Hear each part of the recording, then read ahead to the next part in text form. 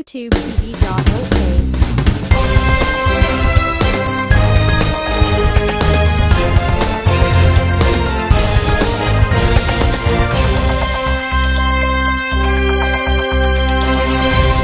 எனக்கு முன்பு கூறிய கூறியவர்கள் எங்களுக்குடைய பிரச்சனைகளை இங்கு விவரமாக கூறினார்கள் இன்றைய காலகட்டத்தில் இன்றைய மக்கள் இந்த சமகாலத்தில் எவ்வளவோ வேகமாக நாடு ஓடிக்கொண்டிருக்கின்றது மக்கள் எவ்வளவோ காரியங்களை அவசர அவசரமாக செய்ய வேண்டிய ஒரு நிலை ஏற்பட்டுள்ளது.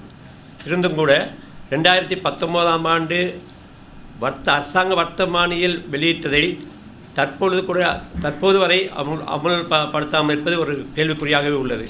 இன்றைக்கு நாங்கள் வாழும் பகுதியில் அநேகம் பேர் இன்று வெகு தூரத்தில் வசிக்கின்றார்கள். அவர்கள் காரியங்களை செய்ய வேண்டுமானால் முன்னர் குறிப்பிட்டது போல அம்பகம செயலகத்துக்கு சென்றுதான் அவர்கள் அவருடைய காரியங்களை செ- செய்யக்கூடியதாக இருக்கின்றது. இப்போ அவர்கள் அவ்வளவு தூரம் செலவழித்து போயும் கூட தங்களுடைய காரியங்கள் நிறைவேறாமல் இரண்டு மூன்று தடவை திரும்ப திரும்ப போக போக வேண்டிய நிலை ஏற்பட்டுள்ளது. அதாவது இன்றைக்கு தோட்ட தொழிலாளர் பொறுத்தவரையில் அவருடைய அன்றாட ஊதியம் ஒரு குறிப்பிட்ட இதெல்லாம் ஒவ்வொரு நாளும் அவருடைய அன்றாட ஊதியம் குறைக்கப்பட்டு அவருக்கு நிலையான ஒரு ச ஊதியம் கிடைப்பதில்லை. இருந்தும் கூட ஒரு காரியத்தை செய்வதானால் அவர்கள் வெகு ஐம்பது கிலோமீட்டருக்கு அங் அங்கு அம் ஐம்பது கிலோமீட்டர் பகுதியிலிருந்து வர வேண்டியிருக்குள்ளது அன்றாட காரியங்களை செலவழிக்கிறது காரியங்களை முடிப்பதற்காக ப- பயண செலவுக்கு ஒரு தொகை பயணம் செலவ செலவழிக்க வேண்டியிருக்கின்றது.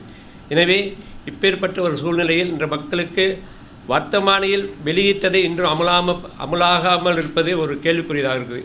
எனவே தான் இன்று நாங்கள் காலையில் மனித உரிமை காரியாலயத்துக்கு சென்று எங்களுடைய விண்ணப்பத்தை சமர்ப்பித்துள்ளோம். அதே போல எதிர்வரும் காலங்களில் நாங்கள் அரசாங்கத்தை கோருகின்றோம்.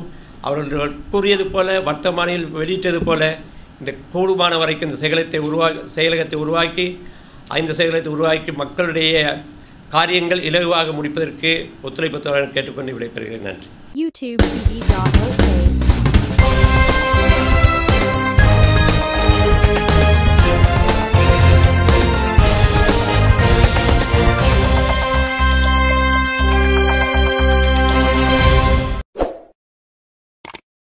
Subscribe now.